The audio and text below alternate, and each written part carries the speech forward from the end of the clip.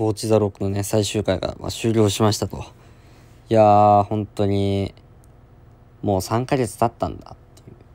早くねと思いながら。もう年越すんだとか思いながらね、最終的に我に帰った時に。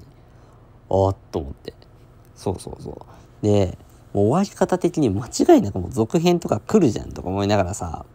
しばらく待機してたんだけどさ、なかなか来ないのよ。うん、ツイート数とんでもねえな。あれちょっと待って、ぐるぐる回ってるんだが。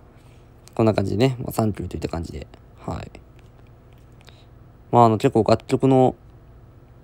まあ、なんか情報を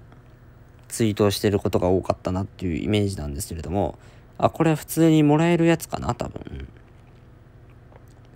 で、まあ、隠されてた、まあ、アルバムのこの14曲がもう全部出揃いましたといった感じで、はい。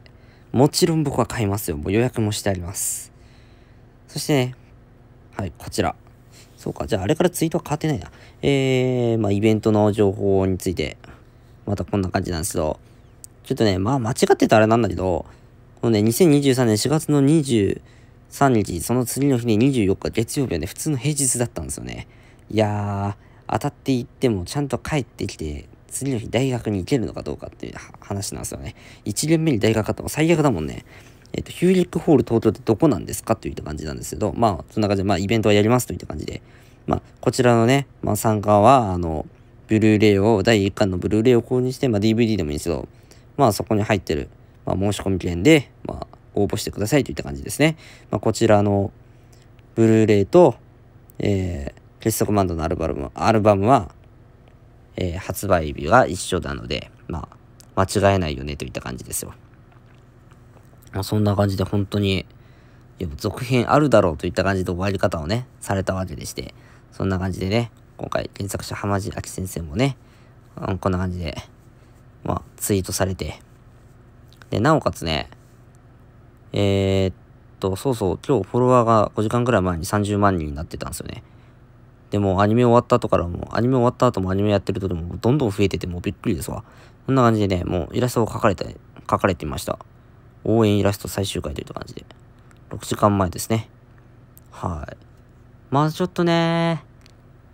今ちょっと今1時前なんですけど、まあなかなかね、もうなんかおかしいなと思いながら、新作アニメの情報とか出ねえな、どういうことだよという感じなんですけど、で、まあちょっと、普通になんか、せっかくだから、ツイート見てくか。どんな人が何をやってんのか。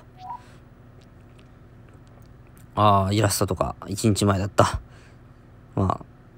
あ、たくさんの人がやっぱ書いてるんでしょうね。だって47万とかだってツイート数だってたもんな。ハッシュタグボッチザロックが。とんでもねえな。あ？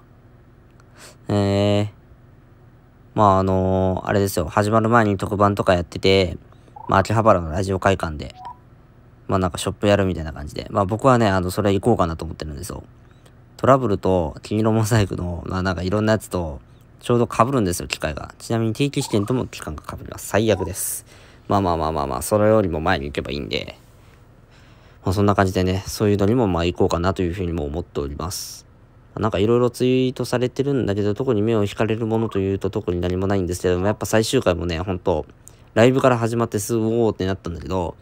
もうその後が本当面白すぎて、うん。スーパーヤジンみたいなやつがとか、はい。めっちゃスーパーヤジンみたいなやつをやってますね。やっぱもう、北ちゃんが本当にすごいなと思ったのと、もう北ちゃんの一人ちゃん呼びとか本当にいいなというふうに思いました。そしてまああのー、親にね、まあギターヒーローがバレただけではなくね、そこよりも問題なね、まあ巨言の数々がバレるといった感じで、いや、ぼっちちゃんとかもいながら見せた。いやー、本当にね、も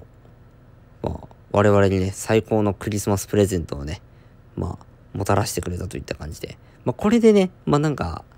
ね、新作アニメどうこうつって決定つってやってくれたらね、もっとね、とんでもないプレゼントだったんですよ。まあ、まだね、まああの、クリスマスは始まったばっかですから。